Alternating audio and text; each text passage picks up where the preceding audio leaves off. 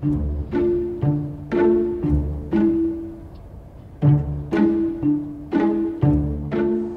you ever wondered why you engage in certain transport activities and not in others? Or why, for instance, you take the bus to attend a pop concert, whereas you do most of your trip by car? Well, in this module, I will explain you about the concept of transport resistance factors. Transport resistance factors are all the forces, such as travel time, travel cost and discomfort that we need to overcome to reach our activity destination. The higher these transport resistance factors, the lower the amount of transport. The opposite is also true.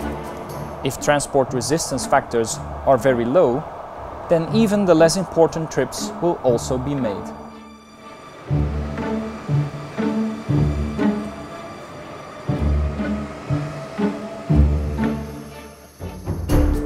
My name is Tom Brijs. I'm full professor in transportation sciences at the Transportation Research Institute of Hasselt University.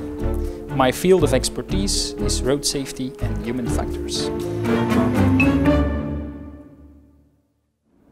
Transport resistance factors such as travel time, travel cost and discomfort play a key role in the activity and travel decisions we make every day.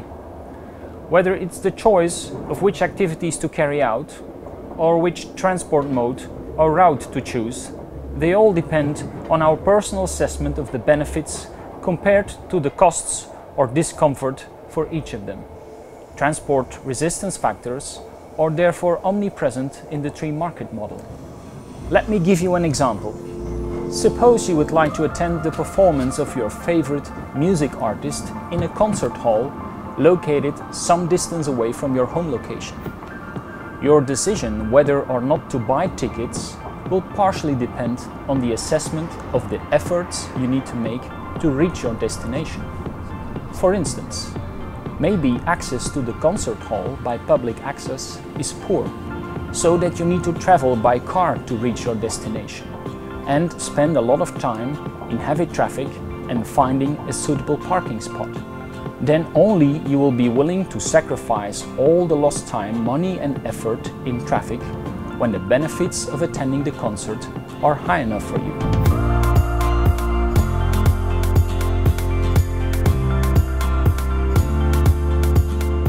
To finish this module, you will need to show that you understand the concepts of transport resistance factors, constant time and money budgets, and time and price elasticities in transport.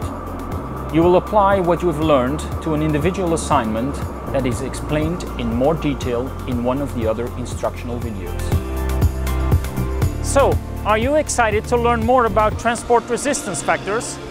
Then I wish you all the best in completing this module.